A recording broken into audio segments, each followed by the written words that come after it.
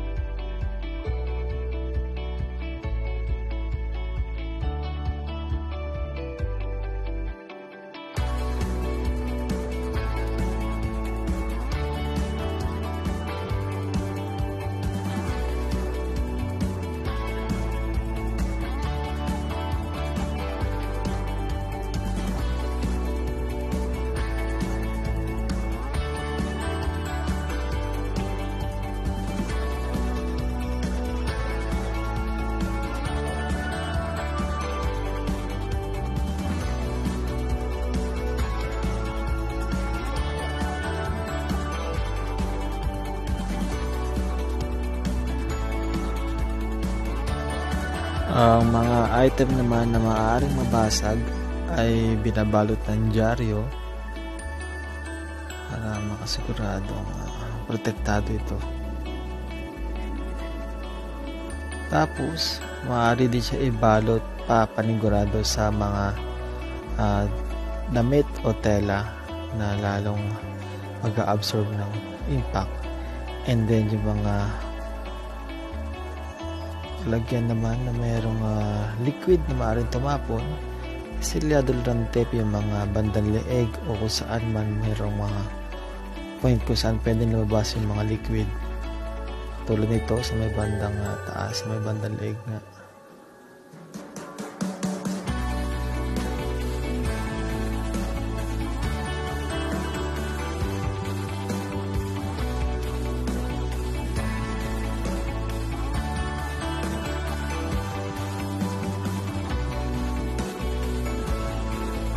naman ay mantika na binalot sa plastic, mga 60 liters.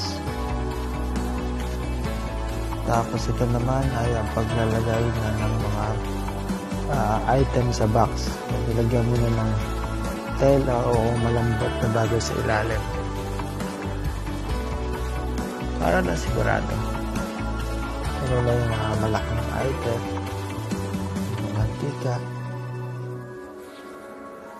tapos yan, susunod ang ano, dishwashing soap.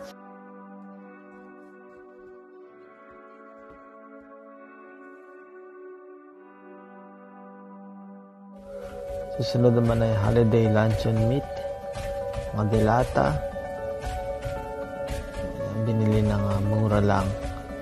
So, kailangan na uh, bibili ka ng mga ganyan kapag discounted lang para hindi ka lugi. Susunod-sunod rin ang pagkakalagay-lagay para magkaroon ng flat surface para hindi sayang space at saka yung paglalagyan mo pantay para sa susunod na item pa na ipapatong mo. Then yan, mga chunk light tuna.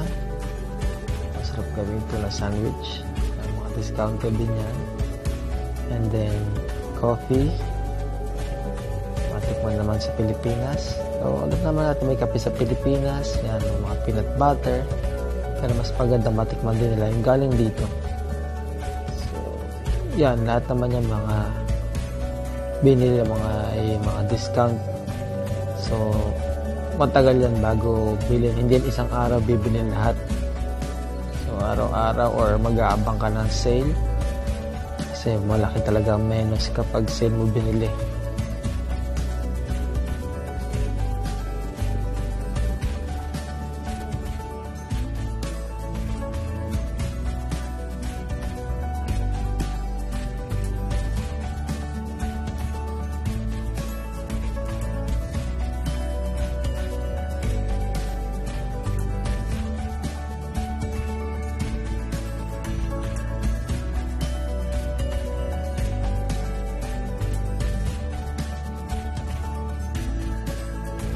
Susunod naman yung mga item na babasagin na binalo sa dyaryo at sa tela.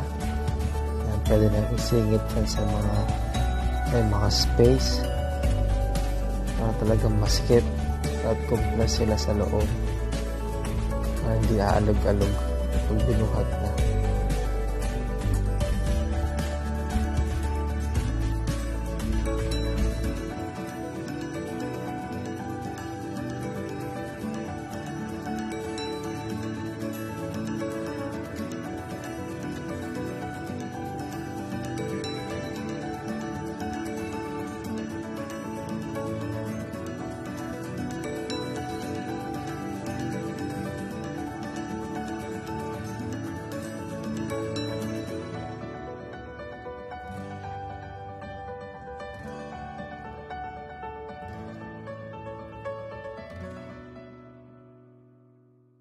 Sumunod naman yung iba pang malalaking gamit. O yan, yung karton na puti ay pinalot sa tela. Babasagin din. Mga palangganan na pwedeng isiksik. Sa delivery.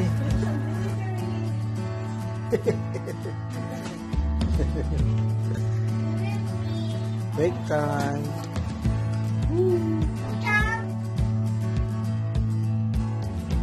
Pizza, pizza, pizza from Domino's. Ayan, napuno na bali yung box.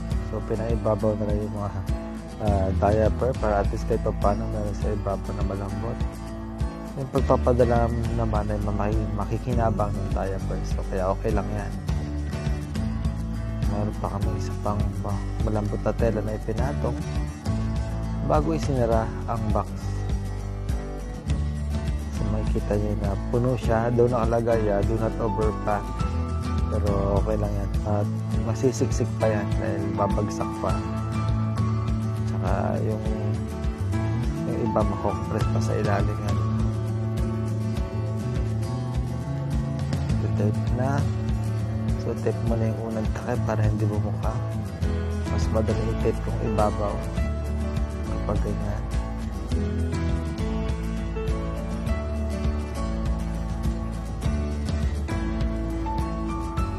Tapos saka isara para i-tape naman yung kabilang side. So may isang taga tulak, max taga compress, may isang taga tape.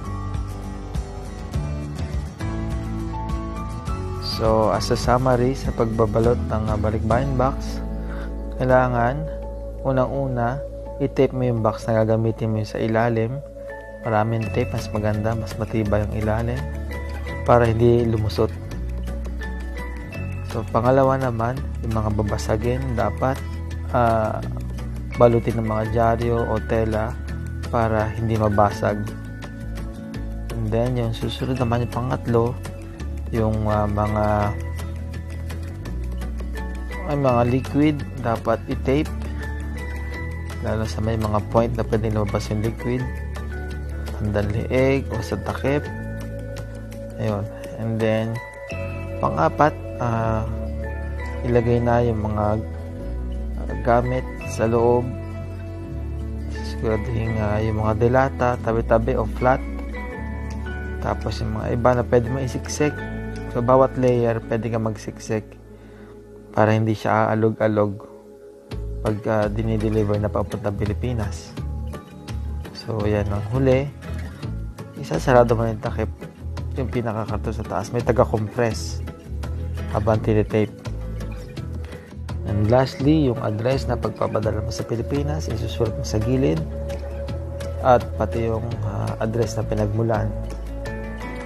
And then, yun na. Pwede ka na tumawag sa company na magdadala ng balikbayan box papunta Pilipinas.